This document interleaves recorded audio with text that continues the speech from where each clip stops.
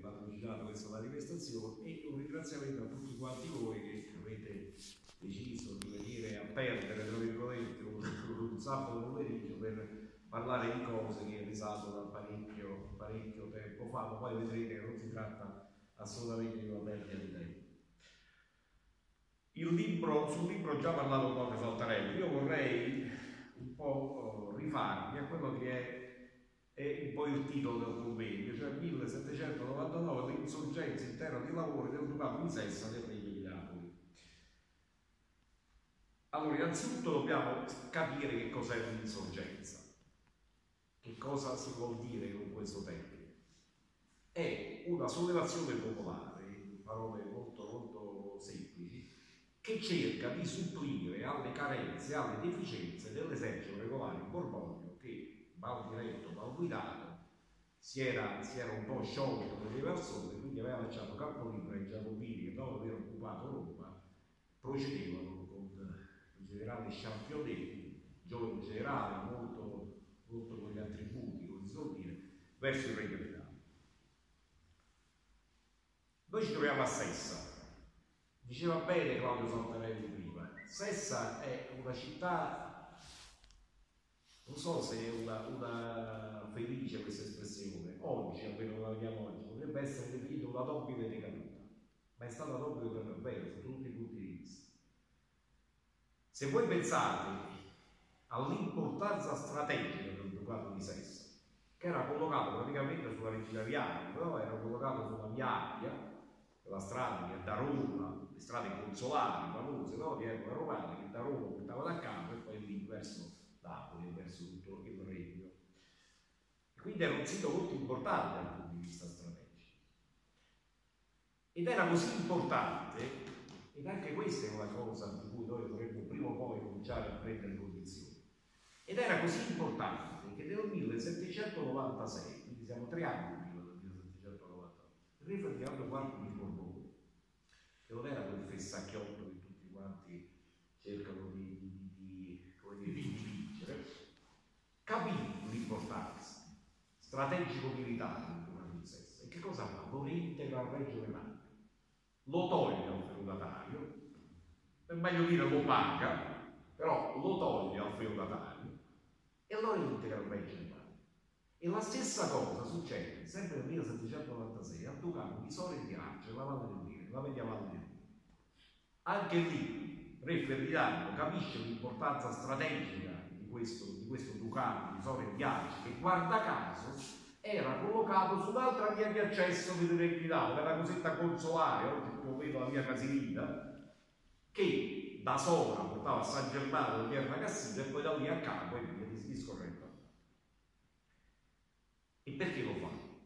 Perché questi territori, il Ducato di Sore Ghiacci e il Ducato di Sessa, erano troppo importanti strategicamente per lasciarli nelle mani di alcune famiglie, pur sempre nobili, ma che poteva presentare sicuramente delle, delle, delle, difficoltà dal punto di vista dell'organizzazione militare, della dislocazione delle truppe e quant'altro. Ma perché ho detto questo? Perché siamo arrivati nel 1796, la famosa legge eversiva della feudalità, di cui tanto si parla e si loda e viene osannata a 360 gradi, arriva dieci anni più tardi con Giuseppe Bonaparte di Napoli e se non vado errato il 2 agosto del 1806.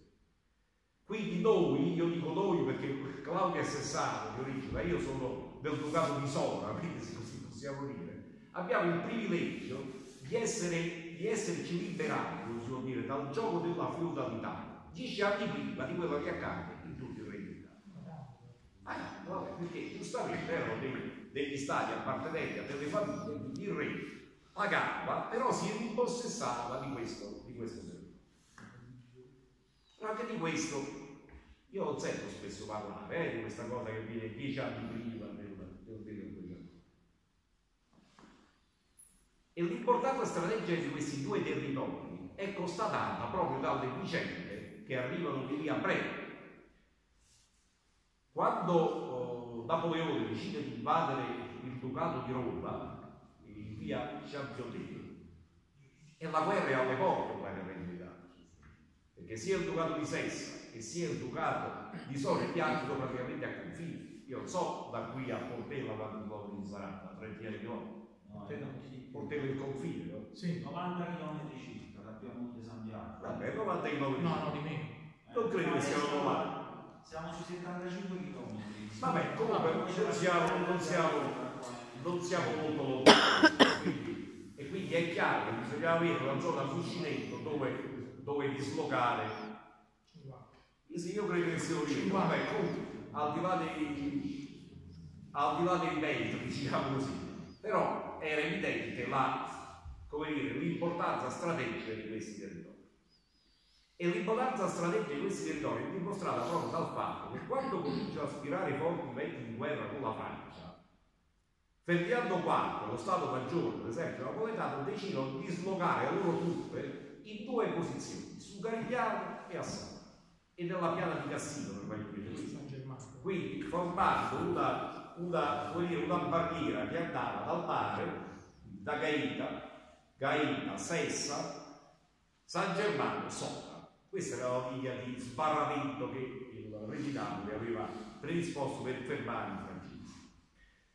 Per quel che riguarda Sessa, nella località Santa Maria La Piana vengono dislocati 5 reggimenti di fanteria e 6 squadroni di cavalleria. Questo stiamo parlando del 1700 tra la fine del 96 e l'inizio del 97. Poi che succede? Succede che la guerra non si fa più per il momento eh, purtroppo io mi posso scordato le spese. Lo lascio squillare? Posso vedere chi è?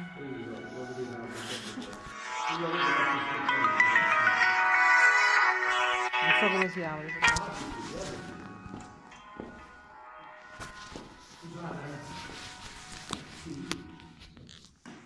Aspetta però dobbiamo, se no... Che non prendevi il telefono? Eh, solo, solo il suo. Questo non lo spendo per questo. No, è una vecchia macchinetta. No, ma questa siccome è l'ultima generazione in vita dappertutto. È capito? La guerra per il momento non scoppia perché a Parigi, il trattato di Parigi, il 10 di ottobre 1796, c'è la pace fra il Regno d'Italia e il Papa. Ad onore del vero però i soldati continuarono a restare sia a San Germano e sia a Sessa, tanto è vero che qualche mese dopo si scatena una violenta epidemia, probabilmente di tifo, dove muoiono parecchie decine di migliaia di soldati, si calcola addirittura 18.000 ed è proprio questa sciagura che eh, costringe il re Ferdinando a far ritirare le ma come era facile prevedere la, guerra, la pace non dura a lungo. Championnet invade il Ducato romano nel febbraio del 1998, esaura il vecchio e malato pontefice Pio VI, lo depone e lo manda in esilio in Francia dove morirà qualche mese dopo.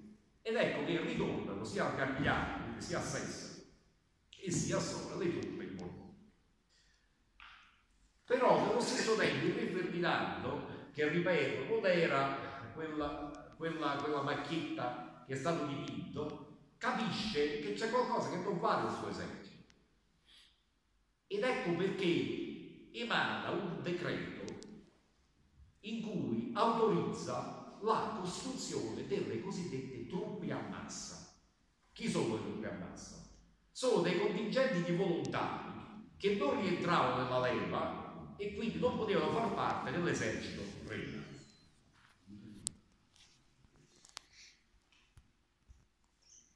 È vero che l'esercito di Championnet era molto inferiore dal punto di vista numerico, si stima dai 15 ai 18 mila uomini, ma era molto ben guidato, lo stesso Championnet era un prode generale che sapeva molto bene eh, muovere le sue poche truppe.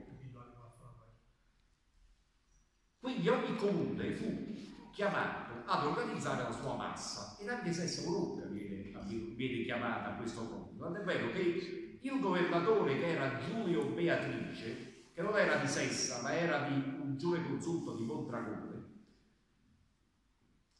si mette in moto per costituire questa truppa massa e crea un corpo a cui viene dato il nome di cacciatori vinturnensi. Quindi a Sessa viene Beatrice, il governatore, crea un corpo di volontari, di soldati volontari, che chiama cacciatori vinturnensi. La cosa, la cosa, caro Presidente, la cosa, caro Presidente, perché di Presidente, quindi la cosa, la cosa buffa di questa, di questa situazione è il fatto che porti anche i detenuti. Quindi anche i detenuti fanno parte di questo, di, questa, di questo corpo. Le cose poi dopo sapete no? come, come si evolvono, che Ferdinando passa il confine, Ferdinando di Borbone, arriva con irrisoria facilità a Roma, alla fine di novembre 1798 conquista Roma che era stata, conquista più che entra a Roma che era stata ormai abbandonata dall'esercito di Championnet, però subito dopo le cose si mettono male, Championnet va al contrattacco, l'esercito borbonico non sa opporsi, si dà ad una precipitosa fuga sia in direzione del, del litorale che, che, quella interna e praticamente i, i giacobini arrivano quasi senza molto ferire a Chiaramente, procedendo verso il Regno di Napoli, ho già detto prima che si, segue due, si seguono due percorsi. Il percorso interno, quindi Sola, San Germano, Capua, e il percorso tirrenico costiero attraverso Terracina, eh, Formia, Gaeta, e, anzi proprio non c'era, Mola, Traetto e, e, e quindi Sessa, Capua il 2 gennaio del 1799 le truppe giacobine del generale Kellerman giungono a Sessa, 2 gennaio. Giungono a Sessa e a onore del vero vengono accolti in maniera positiva dalla popolazione locale, ad vero che si padroniscono della, della città senza sparare neanche un colpo di fucile. Dopodiché Kellerman lasciato un presidio